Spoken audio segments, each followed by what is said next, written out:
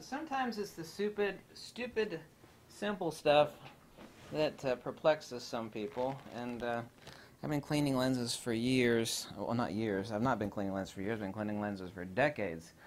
I was even working in an optical shop at the age of 14 and cleaning lenses, especially AR coated. Now this is a uh, anti-reflective coating on uh, this iMac. And I'm going to show you um, how to clean this uh, with uh, the proper way so you don't get streaks and, uh, and, uh, and marks on it.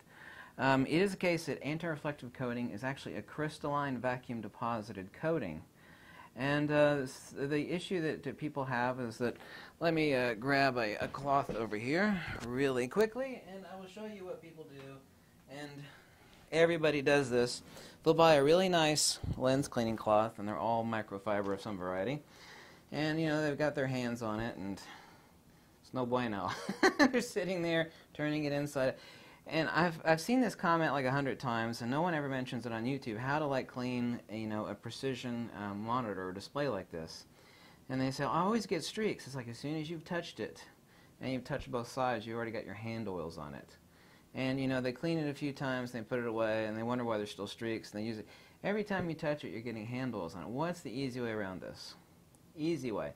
Uh, some people say, well, you want to clean off your hands with like isopropyl alcohol to get all the oils uh, off of your skin, and that is one valid thing. But as soon as you touch it and you've touched both sides, you've, you've got the hand oils back on it again, even if your hands are super duper clean. Uh, obviously, it's important to keep your hands clean, but what the easiest way to do is get a microfiber, precision microfiber cloth, one that's marked uh, on one side. In other words, there's an image on one side that's different than the other. You only want to grab one side ever. And when you're done with it, you put it in your Ziploc bag. And when you reach into the bag to grab it, this sounds really anal, and people are like, are you kidding me? Well, believe it or not, like I said, I used to do tech support for Apple and get this question all the time. And I'm not made a video on it, but I answer this question. And everybody said, oh my God, you know, you fixed the problem. I don't get streaks anymore on my monitor. You only ever touch one side. And the side that I touch is the mark side of this cloth. So you clean your monitor Clean your display, excuse me. I say monitor because I'm old, right? Clean your, uh, this is an AR coated display on this iMac, which is, uh, is AR coating is extremely prone to show streaks of any kind. Once you're done with it, grab it and stick it back in your Ziploc bag and you're not going to have any issues. The only issue you would have is if you had some sort of really nasty stuff on the display where you would actually have to wash this. And that creates a whole other uh, bit of problems that uh, a lot of the laundry detergents, they uh, actually leave in residue. So once you actually get it out of the washing machine, how do you take care of that? Say you cleaned a really dirty monitor, your child wiped his butt on it or something like that, I don't know.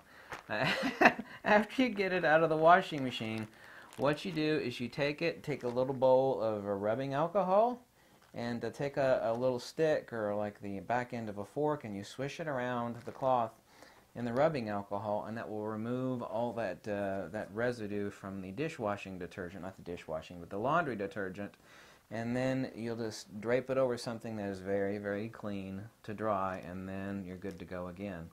So that is how you get a streak-free monitor, and these are really picky. These are far, far, far. iMac displays are the absolute worst as far as showing up a streak. I mean, I need to sit here, even though my hands are super clean, and just touch it. And if I use this cloth, which I've actually handled both sides, I'll sit there and try to clean it, and I'll make it worse, and try to clean again and make it worse. And this is what drives people crazy. They can never get it clean. And that is why they can't get it clean. If you follow what I told you to do, only touch one side, stick in the Ziploc bag, and how to clean it if you actually have to wash it by dipping it in a bowl of rubbing alcohol, 90% rubbing alcohol, 70% doesn't make any difference, i.e. rubbing alcohol, i.e. isopropyl alcohol from your drugstore, grocery store. That's how you take care of that. So always keep it in a Ziploc, always touch one side only, and if you have to wash it, use rubbing alcohol. Okay? Tip of the day. Um, I think I'm the only person on YouTube to answer that question accurately. And uh, this will work. Okay? Bye. This also works for your iPads too, by the way. I forgot to mention, as how you also clean the AR coated display on your iPad. Okay, bye.